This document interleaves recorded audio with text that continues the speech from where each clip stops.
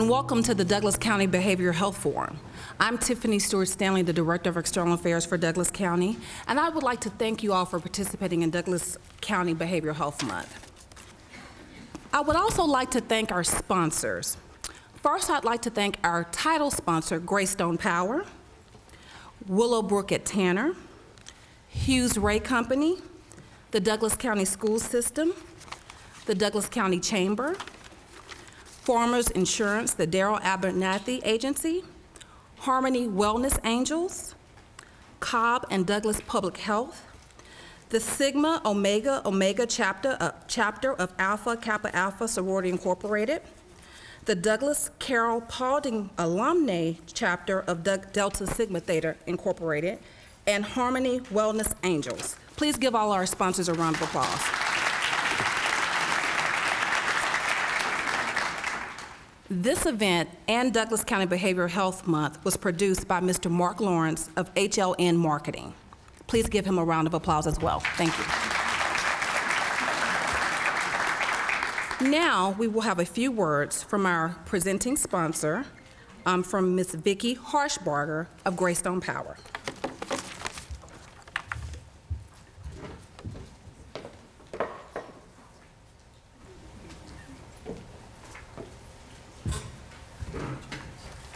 Good evening, everyone. So good to see so many of you here and so many elected officials. It's wonderful that y'all came out for this tonight, so thank you. As she said, I'm Vicki Harshbarger, and I'm Public Relations and Communications Director for Greystone Power. And Gary Miller, our President CEO, wanted to be here with y'all tonight so much, but he had a prior engagement and he couldn't be here, so he wanted me to give you his regrets. Greystone Power is really proud to be a sponsor of Douglas County Behavioral Health Month, and in particular this event tonight, the Commissioners Behavioral Health Forum. And thank you, Commissioners, for all you've done to get this going. Gary wanted me to express that we at Greystone appreciate the opportunity to help bring instrumental community partners like each of you together to dialogue about this most important subject, the mental health of our community. We understand the need for frank dialogue and meeting the challenges of behavioral health head on. We want to be proactive in this, and with all of us working together, we feel sure that we will be successful. So thank you for taking your time to be here tonight, each one of you.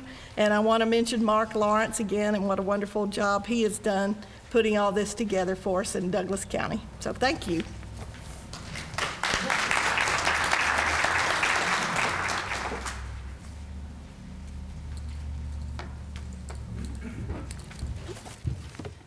Now I will introduce our host for the evening. Douglasville native and University of Alabama alumni Lena Hardy is a model, actress, host, philanthropist, and entrepreneur. By day, she's an employee of the Douglas County Board of Commissioners office, and by night, she works within the entertainment and pageant industries. Lena Hardy is the 2017 Miss Douglas County USA and will compete for the title of Miss Georgia USA this November. Please welcome Miss Lena Hardy.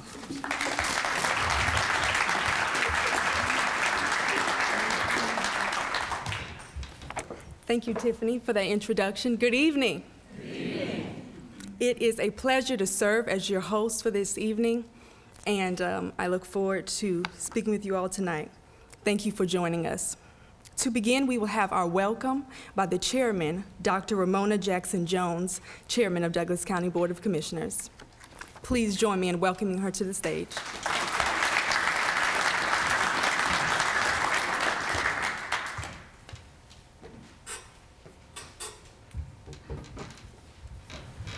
Evening, everyone. Thank you so much for being here tonight and um, participating in this great event. Again, I'm Dr. Ramona Jackson Jones, Douglas County Board of Commissioners Chairman. And on behalf of the Board of Commissioners, we welcome you here tonight and we appreciate you being here as we uh, began to stomp the stigma of behavioral health in Douglas County. It is an honor and a pleasure for me to stand here tonight because it is one of my visions, and this is something I wanted to uh, have as a stamp of approval for the citizens here in Douglas County as we move forward for this behavioral health event. This will be my signature for my administration, and this is something that needs to be addressed in the county, and not only that, not only at this county, but uh, Georgia and also the United States at large. So again, thank you tonight for coming. Welcome. Uh, buckle up. We have some great uh, speakers tonight, and uh, they will be sitting here tonight, and you will hear their point of views about behavior health and what they could do and contribute uh, to you and others that need support in terms of behavior health. Again, thank you so much. Welcome on behalf of the Board of Commissioners. We thank you for being here tonight. Thank you.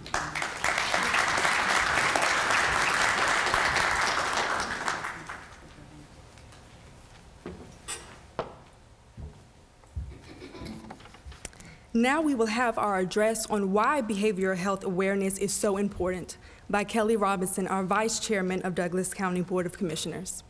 Please give him a round of applause.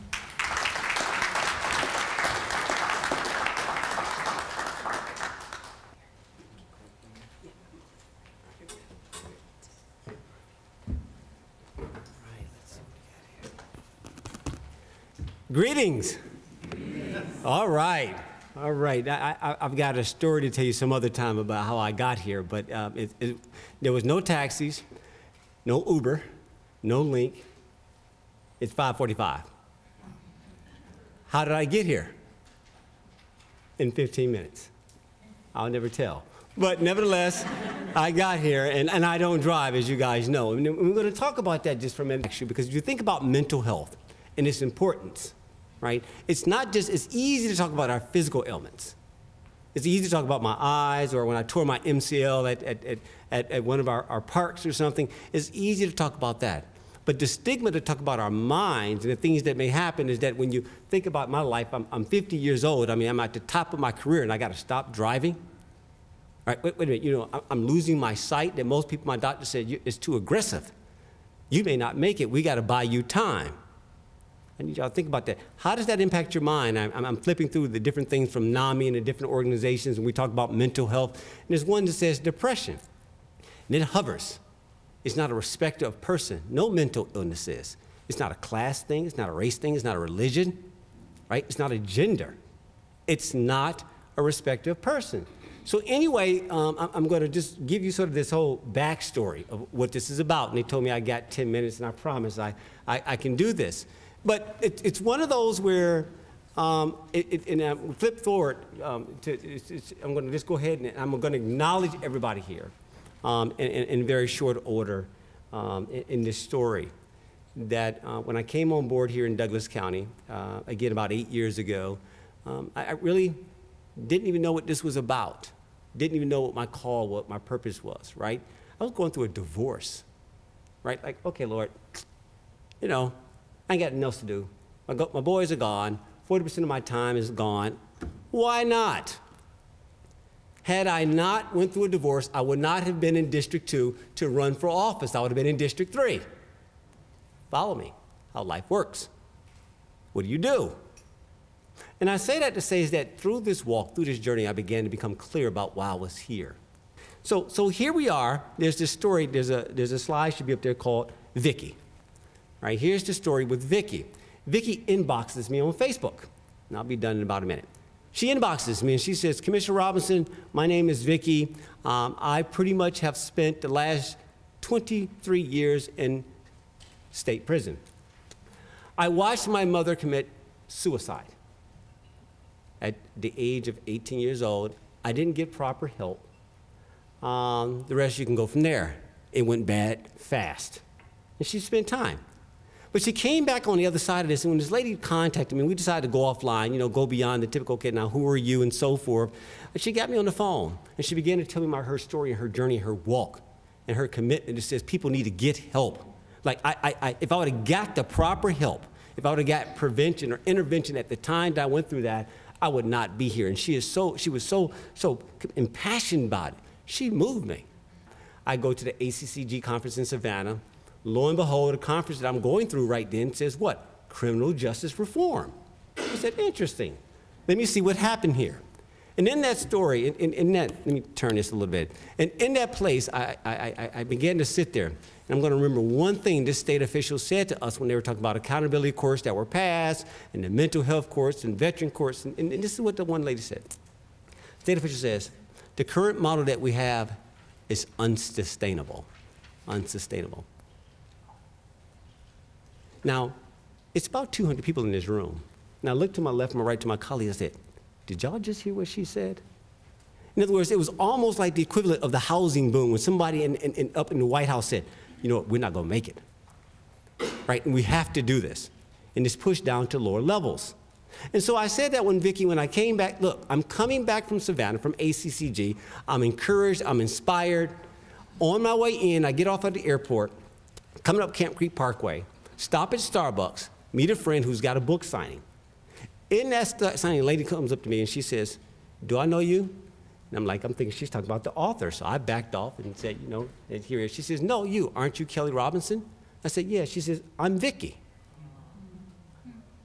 Like, small world. And then she says, So this is two months later now. January, now it's in April. I'm like, Okay, all right, bet. I got it. In other words, sometimes you need a confirmation. I got the confirmation I needed. And so then it was within, what, 35, 45 days in May, we had a forum just like this. And it was the beginning. That Saturday, I decided to go out, and this, this is where I'm going to be finished with my story, to see, okay, let me check and see if this is really relevant.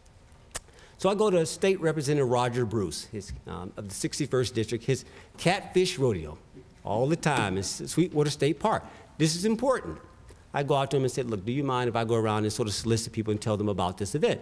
He said, yeah, just don't put them flyers all over the place, right? And I'm like, okay, yes, sir, no problem. So we went out, me and my sons, we go around and we're passing them out. Now I need y'all to picture this, right? Now think about one of the bar- back parking areas with nothing but cars and stuff. My sons, you know, they're out there hustling, doing what they do as teenagers, get them out. Next thing I know, the guy, the guy and the lady walks up to me and says, and see tears in her eyes, and she says, I can't believe you're talking about this. So I'm sitting here talking to her about this event that's about to come up, and I'm almost finished. Talking about this event, about what we're about to go do. And I look out at my corner eye, and you should have seen at least 30 people at different stages throughout the parking lot looking at this flyer. And you can just see the movement in, in, in the park that says, oh my God, we're on to something. And so I'm talking to this lady, and my son was pulling me on my dad, dad, dad. He says, These people want to talk to you. I turn around, it's like a pastoral line of 15 people. Now, that's not my call, but I'm like, oh my God, Lord, what have you shown me? Uh oh, we're on to something. You know, think about what America's known for, and I'm, I'm going to close it out. America known for, like, what is four, maybe five things. Is known for what? It's morals. America is known for what? It's military. America is known for its money, right? It's, it, what else is it known for? It's known for its masses, meaning the people. But also, it, it, it's, it, it's, it's what? It's melodies. It's issues, melodies.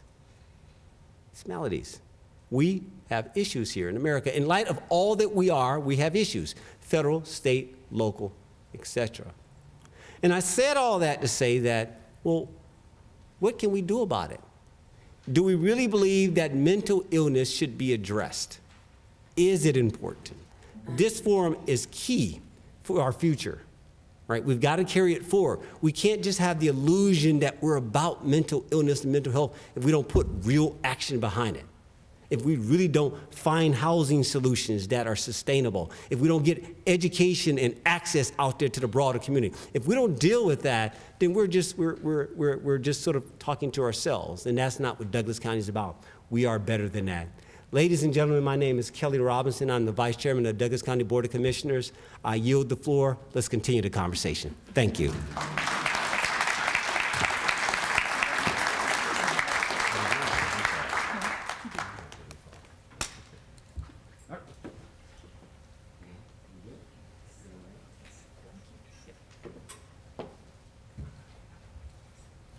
Let's give Commissioner Robinson another round of applause. Next, we will have a special presentation by the Chair of Douglas County uh, Legislative Delegation, State Representative Roger Bruce.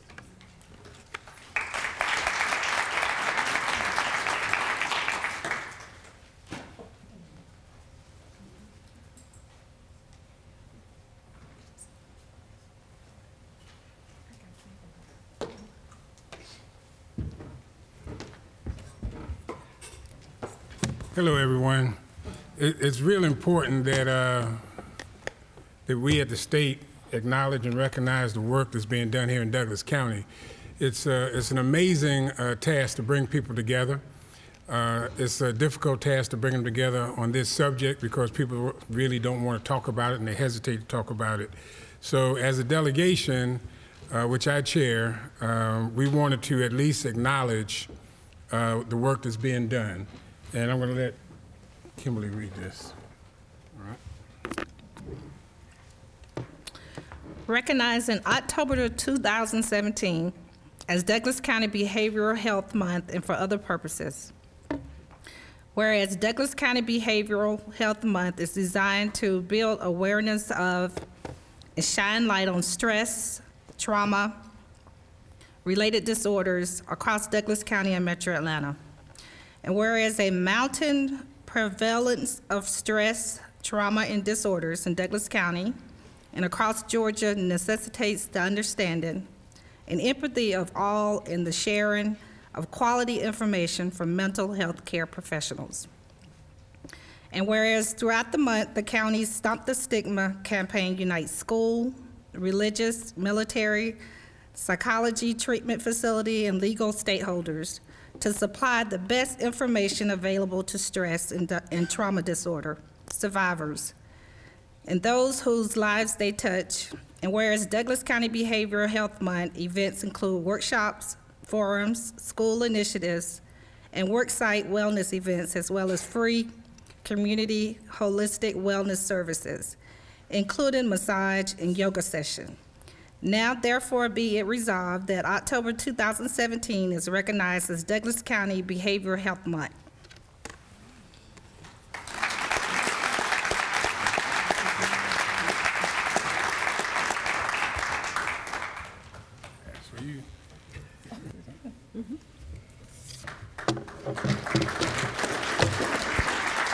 Thank you so much. Can you hear me? Thank you so much. This is definitely an honor for uh, Douglas County, especially on, again for the Board of Commissioners. We are very pleased and we are just excited. I spent 40 years of my life in healthcare, so I would be remiss to say that I, I retired from healthcare. I said my journey has just began, and I want to just realize, make it very clear in Douglas County that we are committed to stumping the stigma here in Douglas and all over Georgia and all over this United States. So it starts with just one person at a time, and then we'll all align, and we'll go from there. Again, mental illness is an a chemical imbalance in the brain, and uh, I've been knowing it a long time. I've been uh, in surgery, spent most of that of my time in surgery. I have worked on brains, and I know exactly what the brain looks like. But of course, we all have different thoughts and thought processes. But with us all together and working as a team, I know we can stomp the stigma. I believe in us. So this is not only an honor for me, but it's for an honor for all the citizens of Douglas County. Thank you today for participating, and thank you again for coming out. Thank you.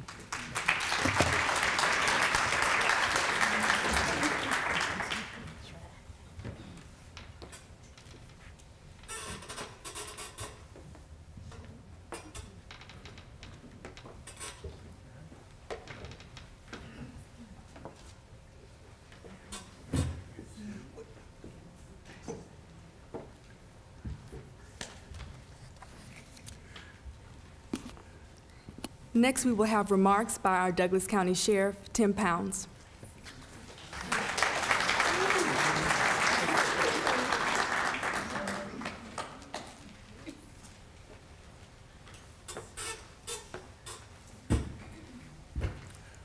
Good afternoon, ladies and gentlemen. It's excuse the dress. It was a training day for me, and I was going to go back home, put on a suit and tie. So nope, I'm going just like I am. So y'all excuse the dress. But it's, it's a pleasure and an honor to stand here tonight for such a worthwhile cause. It's, you know, they say it's October is the month, but I hope this is the beginning of years on down the road. And it's not just a Douglas County problem, it's a worldwide problem. And as uh, Commissioner Keller spoke a few minutes ago, that 30% that's in my jail is in my jail. And some of them I talk to, and uh, they don't belong there. But when a family give up on them, and then they go to committing a crime to support their little habits, then we got to arrest them. And then see like everybody that belonged to them go away. They just know they're in jail, they ain't worried about them no more. They know they're gonna get fed, clothed, and get their medication. So they ain't worried no more about that. But it's really started again, it started home. We got the red flag that Kelly talked about. They do, they appear. We got to we got to do something about it, ladies and gentlemen. And being born here, it just didn't start today. We've been at this problem for a long, long time. And I am so happy to stand here tonight being a part of what I hope get a fix the problem. Because it's such a worthwhile cause that I said before. And Pound, the sheriff, gonna stand in the middle of anything I can to assist them with the problem they have. Thank y'all, ladies and gentlemen.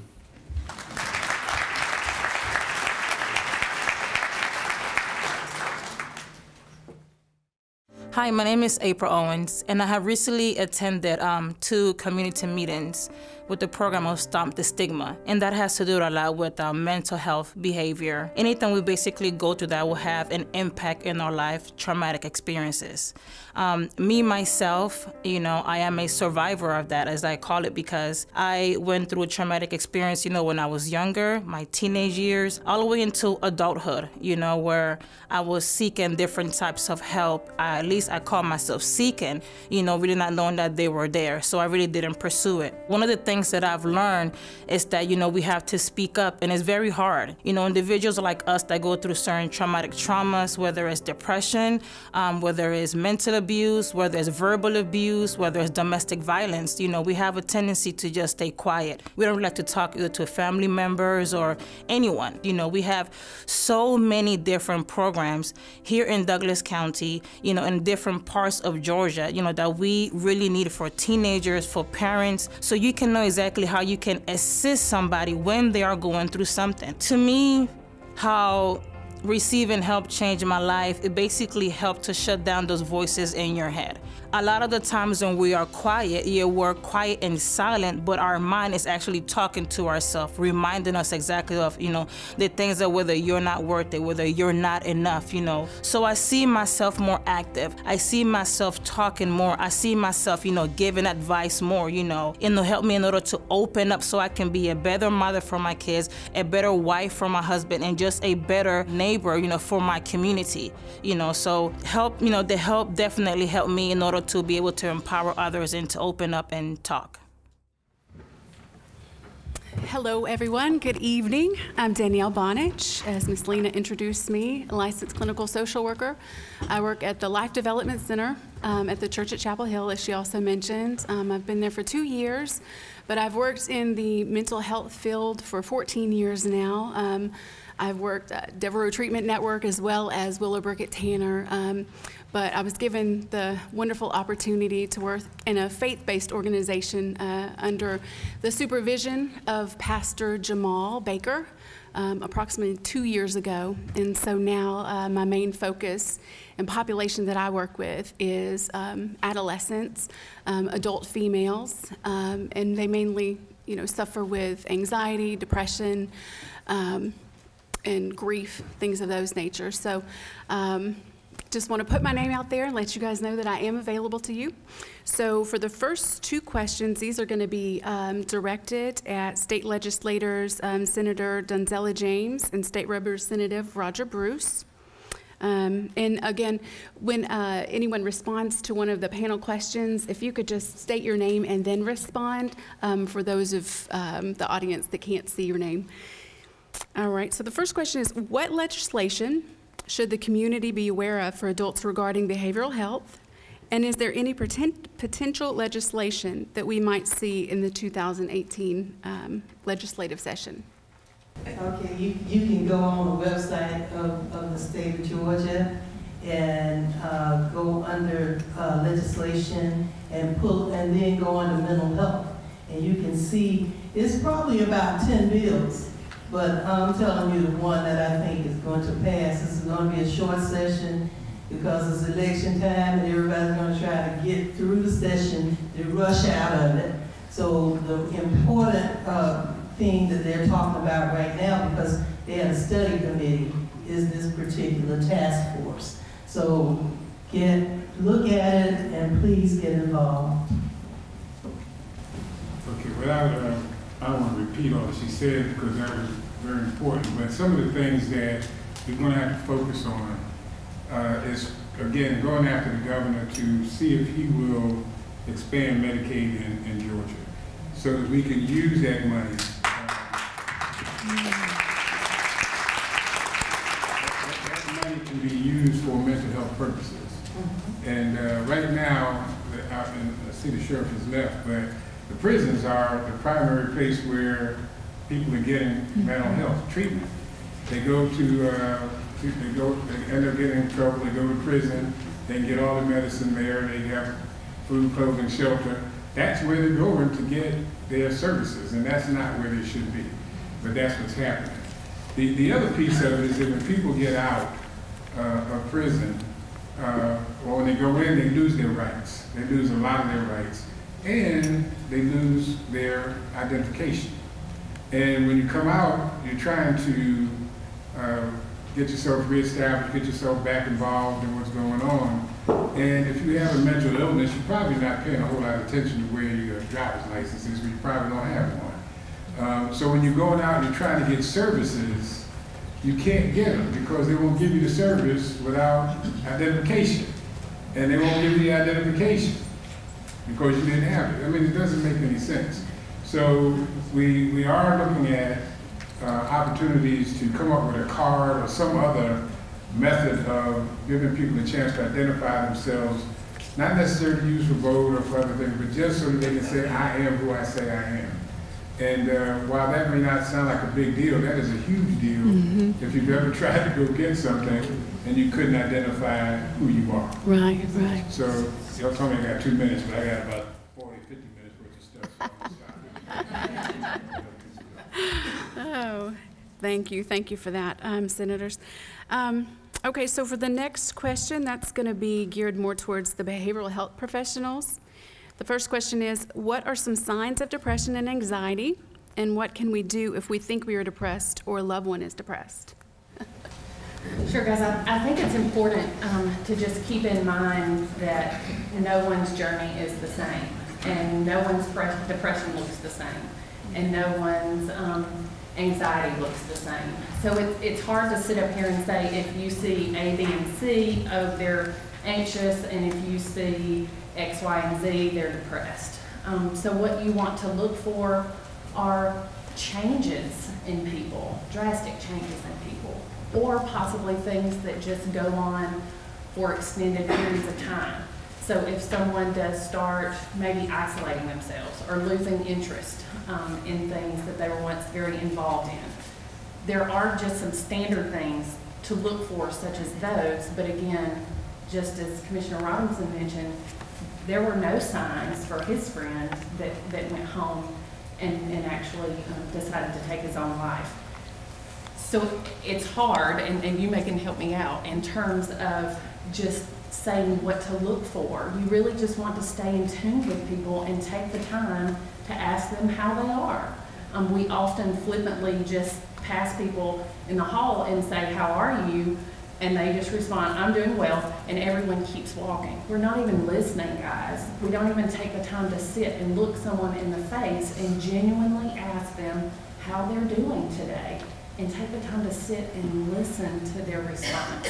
You'd be surprised what people are willing to share with you if you're just willing to take the time to listen.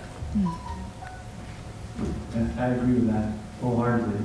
I think that, um, you know, to, to say that, oh, look for erratic behavior, or look for loss of appetite, or look for sleeping problem, you know, every case is different. But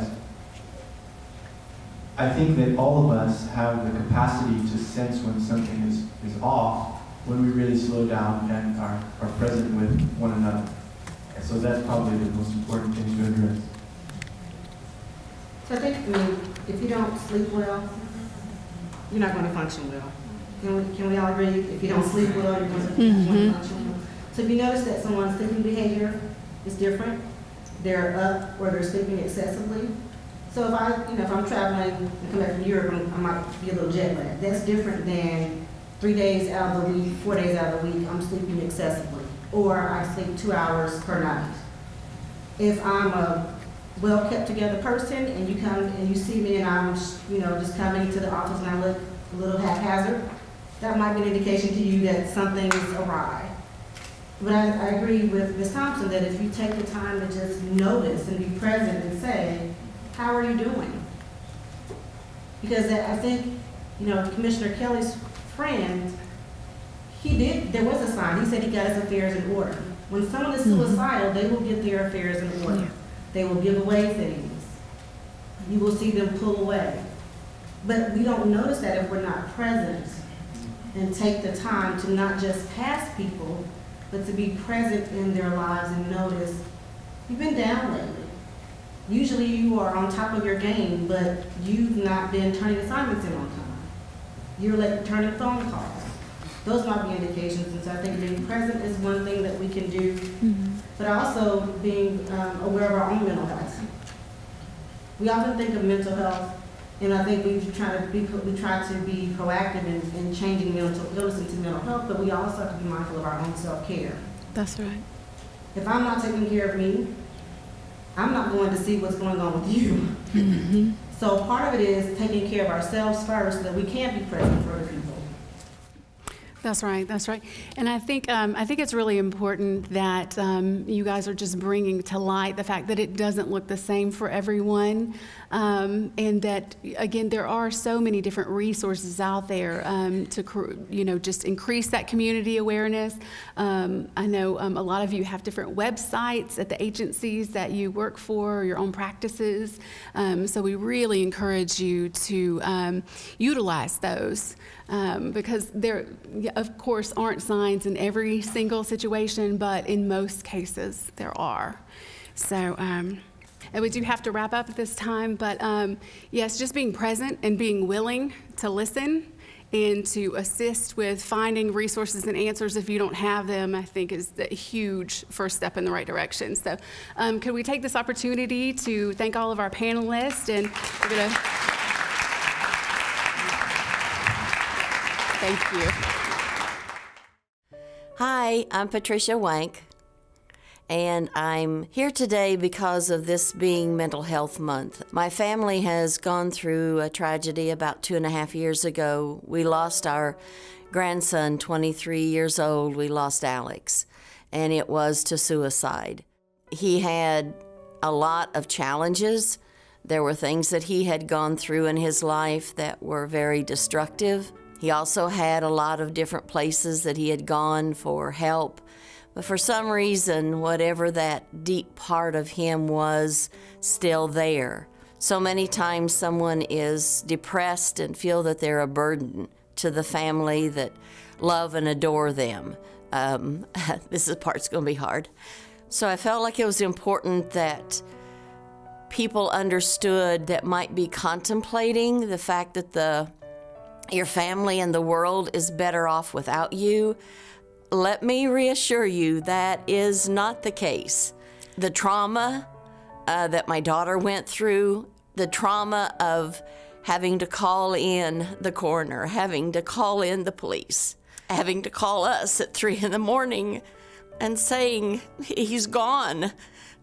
She then went through all the hours of others in the house doing all of the work that had to be done in the room, the coroner asking her to please go somewhere else as they carried his body um, outside on a stretcher. Georgia is number six when it comes to United States in suicides. We have an epidemic. We have people that are lost, that are terrified, that are in places they don't know how to get out of. It's extremely important to understand as much as we can about the different areas of mental health. What we want to create is a state, a country that is a positive mental health, not the destructive kind that we have. I hope this is of value to someone. I hope it changes someone's mind. And most of all, I don't want anyone else to go through what we've gone through because it's it's a forever journey after suicide. Good evening, everyone. Um, I am Tracy Rickard. I'm chair of the Douglas County Board of Education, and I just want to thank you. It was so difficult to see Patty give that um, testimony, and she's a sweet person, just a wonderful person in my life, and I just thank you so much. Um, thank you to everyone for coming out tonight to be a part of this critical conversation that we must all start having in all communities. Um, before uh, an adult um, has behavioral challenges, their first is a child. So tonight we have composed a panel of legislators, specialists, and members from the legal community to discuss signs, intervention, and best practices to support those who may be on the cusp of or, or already in crisis. We just saw in the behavioral health spotlight the effects of suicide on families and um, what are some signs that a child might be um, might be contemplating suicide? And I pass this out to any of the panelists. Um, I'll go ahead and get started. Um, I think it's really important to understand that sometimes there's no signs. And for children where there's no signs, the greatest risk is if they're perfectionists and they have unrealistic expectations for themselves. Uh, so I think that that's a really important one. A second one I would tell you is that there has been a suicide in their circle, because now they feel that it is an option Hmm. and it puts them at higher risk. I would tell you to read your behavioral health survey from their schools. Every single school will tell you the children who thought about suicide, the children who have attempted suicide. So it's important to look at your data and know what your data is. And lastly, one that's not really obvious, when someone picks a fight with you over absolutely nothing, they are distancing themselves because they know they have a plan. And they will um, do things to put you off and to put other people off and create that distance. So just be aware of anything that's different. Um, I think that the first group, when you, when you asked the, the question about depression, kind of touched on some of the warning signs of suicide as well. Um, what Judge Walker talked about when one suicide occurs to kind of watch that, that group. Mhm. Um, I am over the crisis response team for Douglas County, and over the years, we have responded at all levels. We have had suicides, um, unfortunately, at, at, at the elementary level. We have had both student and teacher suicides at middle and at, at high school. And so when we send the crisis response team in, we talk to that, we, we try to talk to the kids about suicide and warning signs. Um, I, I have seen sometimes some of the schools want to kind of sweep it under the rug, and I think that it's an opportunity for us to, to have that discussion with the kids. Um, we do counseling immediately after, and we kind of identify those students that are at risk that we need to kind of watch. They come and talk to us, and they're feeling Mhm. hopeless, they're feeling depressed, they're feeling anxious, an overwhelming um, feeling of sadness. Those are definitely warning signs. Um, some of the other things that you that I need to look for is they'll start to give their things away, um, things that mean a lot to them. Um, they'll lose interest in things that they used to be very interested in. If they, they used to be very interested in athletics and sports, in music, band, and they'll quickly lose interest in that. Those are some of, some of the warning signs. You might see changes in their sleeping patterns where they'll be either sleeping not at all or sleeping all the time. Um, also changes in their appetite where you'll see where they, they won't eat at all or they'll, um, so again, those are some of the other warning signs. I agree. I would also add, um, when anytime there's been a relationship shift, um, a lot of times we think of, you know, elementary or middle school students go through, um, being outcast or, you know, boyfriend breaks up with them just because they're so young, we kind of blow it off as it's their world. Um, so anytime there's been a major relationship shift, I would encourage uh, parents or teachers, whoever is there and can be with the student, to check in with them a little bit more than you may think is important. Um, or also being outcast, being bullied or being made fun of because anything, for any reason. Um, so anytime there's relational issues, uh, kind of uh, for elementary, middle school students, relationships are their world. So it's something that we should, as adults, take seriously, even though we know the world is much bigger than what they see, um, to consider that that can be a reason that they think they shouldn't be here and not important. Let me springboard from your comment about the bullying. Um, what can we do? It is an issue that our students, our young people have to deal with.